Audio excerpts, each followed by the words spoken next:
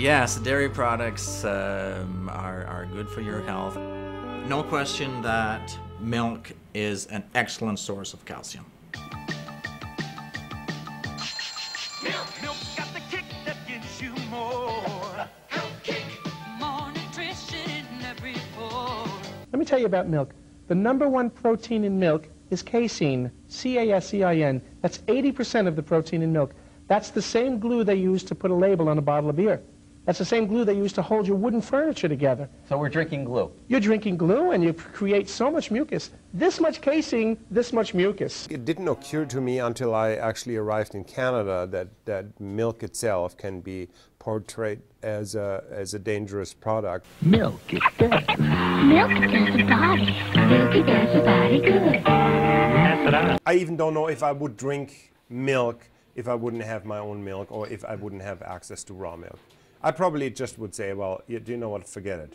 There's a perception that pasteurization destroys all the microflora in the milk. It does not. Pasteurized milk is not a sterile product. The dairy industry, every dairy farmer, and there are probably a few in the audience now, you know that for every 100 pounds of milk you produce, you got to pay 15 cents to the national fluid milk processors. Doesn't sound like a lot of money. What are they doing with that money? It's $500 million a year to paint milk mustaches on the lips of moms. Many people will say, well, let's make milk healthier. Let's take all that fat out and have non-fat milk. And you know what? That's a good move. And you can make it healthier still by taking out those proteins that tend to trigger allergies, migraines for some people. And then you could take the hormones out, remove all of that, and pretty soon you know what you're going to be left with? A glass of water. And maybe that's what we really should be drinking.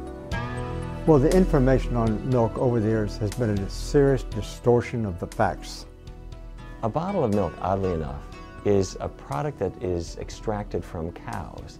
And it all began about somewhere between four and 6,000 years ago when people figured out how to make cows stand still. And they decided that at that point they could take their milk, which is actually intended for their calves, and they could drink it themselves. And it's I think it always makes Mother Nature scratch her head. Milk is, uh, as far as a food is concerned, it may be our biggest problem we have to face in the future. Come on.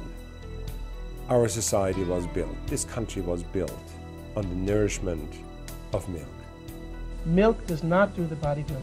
And the blessing, and I have to say the blessing of pasteurization, because if that milk does not get pasteurized and it goes out to the public, it can be definitely dangerous.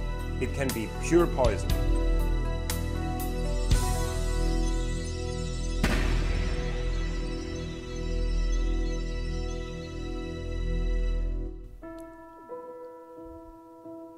Milk is crystallized love when you really think about it.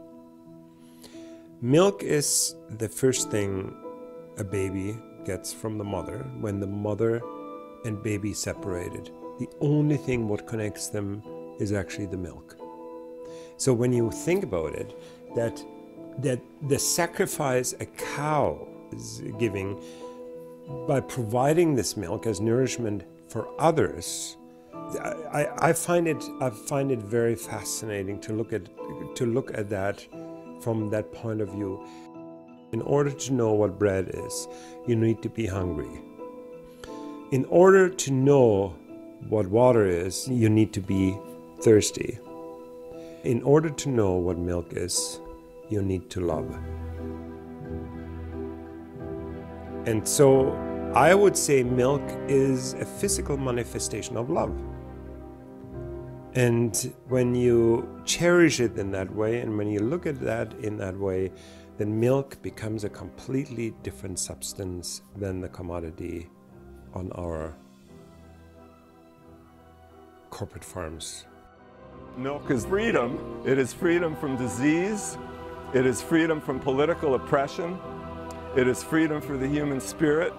It is freedom to live the way human beings have historically lived not the way they live today under the yoke of corporate power.